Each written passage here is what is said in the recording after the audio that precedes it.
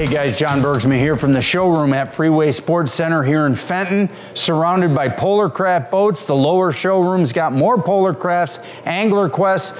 Jim and the guys here have got lots of stock for you. Really good selection right now, so get here early season to pick out that boat you've been thinking about.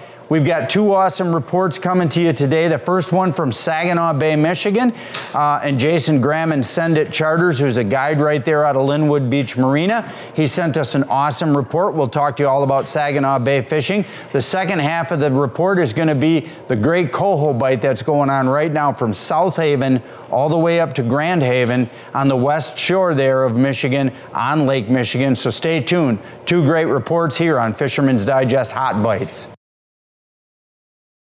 So anyway, Saginaw Bay. Uh, what's going on in Saginaw Bay? Jason, Jason Graham is our local expert there at Send It Charters. Now, Send It Charters, you can get a hold of them online. Uh, you can also just call the Linwood Beach Marina and ask for Jason, and he will uh, he'll get pick up the phone and talk to you. So anyway, He's running charters basically out of Linwood Beach Marina. So he's going to be fishing west shore all the way to the river mouth. And that's really where the bite happens early anyway. So right now, Jason tells us that the water temp in the bay is somewhere from 36 to 38 degrees.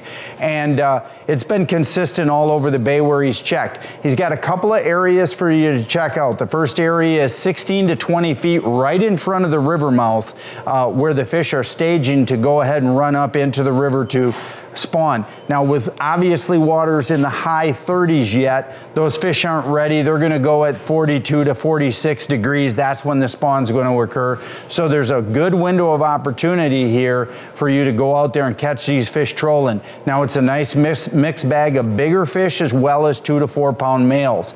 Um, another area to check is basically from Linwood Beach along the shoreline south all the way to the river mouth. Now you're gonna find scattered schools of fish and pods of fish that are roaming in that area headed towards the river mouth. And so that's been a pretty productive area too.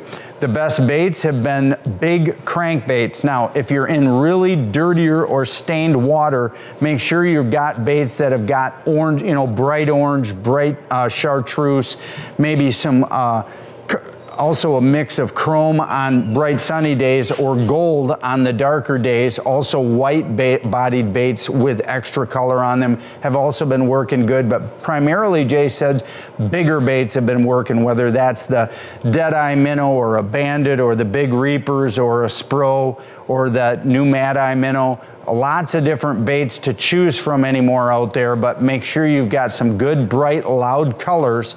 And then if you get to cleaner water, let's say it doesn't blow for several days and the water settles out, then you're gonna go to more natural colors like the perch colors, whether it's purple perch or a natural perch, normal looking color.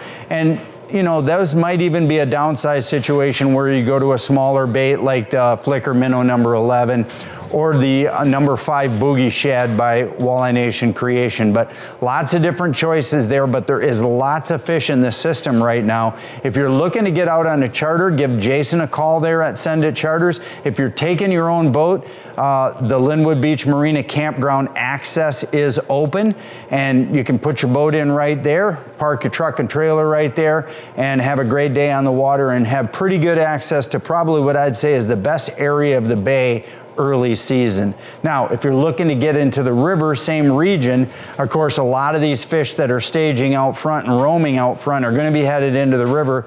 Um, river jigging in the Saginaw River in the first two weeks of April is always a pretty much a sure thing, good bet. Uh, if you're into river jigging, that's a great area to go to too. And it's also a great backup plan if you get big winds out on the bay where it kind of blows you off the bay and you just didn't want to abandon the trip altogether dump in for the next couple weeks into the Saginaw River. Awesome fishing. Midwest Steel Carports is Michigan's premier steel building manufacturer. We manufacture and install custom steel buildings throughout Michigan. Our engineer certified steel buildings are fully tailored to fit your every need, and our up to 40 year warranty protects your investment. From residential storage sheds to commercial warehouses, let our team work with you to find your ideal building. For more information and pricing, visit MidwestSteelCarports.com. So anyway, like we said at the start of the show, we're here at Freeway, and this is one of the one of the times in the last several years where Jim and the guys at Freeway have actually had a good amount of stock available for customers to choose from. Lots of different models, lots of different color selections available.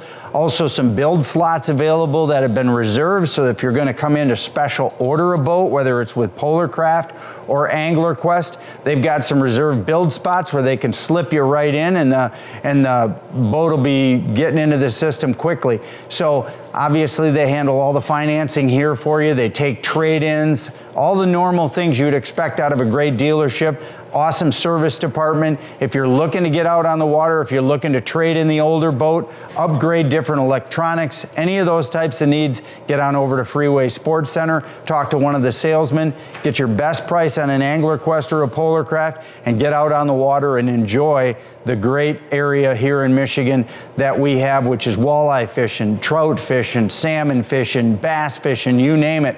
We've got the fish, they've got the boats. Get on down here to Freeway Sports Center.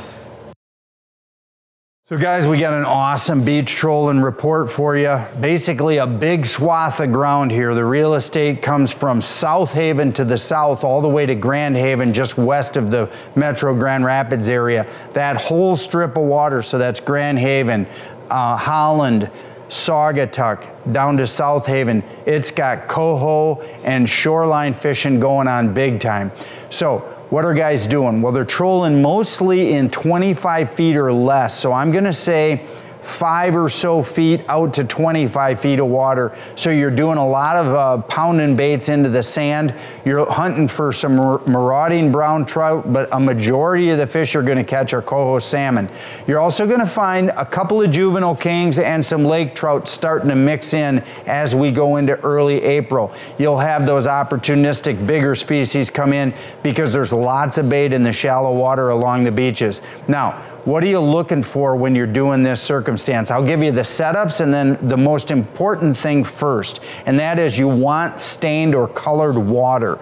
Uh, it's really important when you're beach trolling to find out which direction the wind's coming from and set up below a pier head where there's a river outlet or in between pier heads where you have major streams flowing into the lake itself. And that dirtier flow water from runoff that's being uh, created by you know the frost letting loose or melting snow or now just rains are going to push that dirtier water from creeks and rivers into the system. And then the wind let's say it's from the north or from the south it's going to blow that dirtier water water in a particular direction and you want to be fishing in that stained or dirtier water because that's what gives the fish the comfort to be able to come in that shallow and go ahead and feed. So stained or dirty water is important. You don't want to look over the side of your boat in 12 feet of water and see the bottom. If that's happening, then that water's a little bit too clean and you're going to want to go get closer to a creek or a river mouth or a pier head. Uh, second thing you want to do is make sure you got a good splash of baits out there. Now, fish this time of year are going to hit a lot of things between a, uh, a rapala, just a stick rapala, uh, a jointed rapala, a Scatter Rap. Those are three really good popular baits guys use this time of the year. Shallow diving baits uh, and oranges and golds.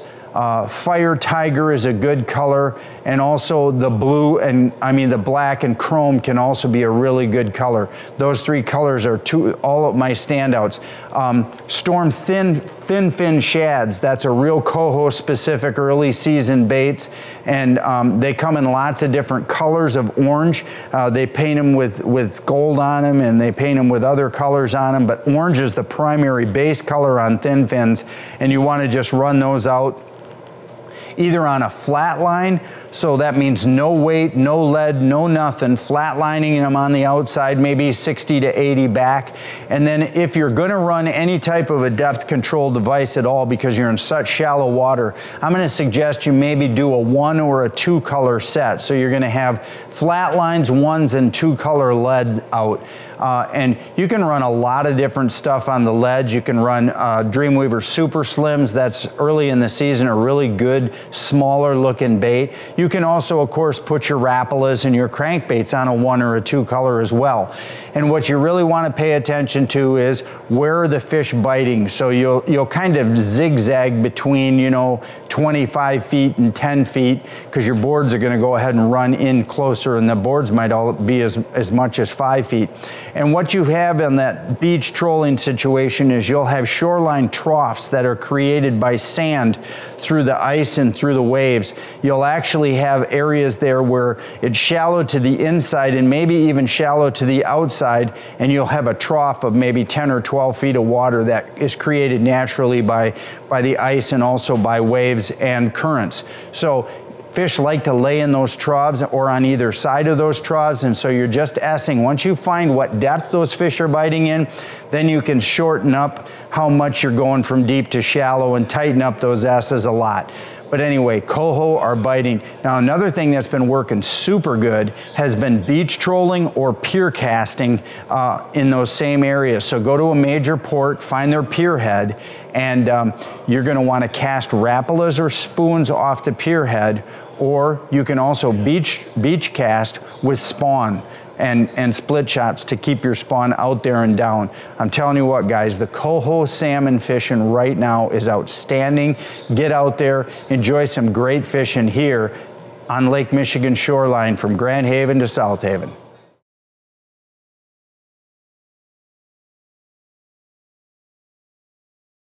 So hey guys, like I said, we're here at Freeway Sports Center today. Get on down, talk with a salesman, have a great experience on the water, and most importantly, be safe and uh, enjoy Michigan's great resource. We'll be bringing you fishing reports each week from now until December. We'll see you.